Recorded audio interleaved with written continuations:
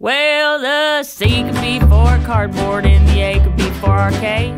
But the A could also be for auto parts, cause it's pop shops where it's made.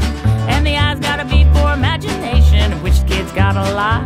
And the N ought to be for noggin, where the idea first got thought. But then the E,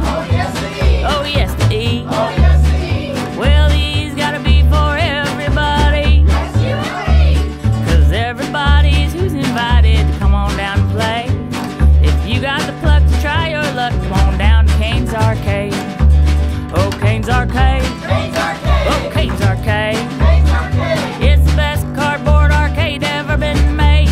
Ever made. Grab yourself a fun pack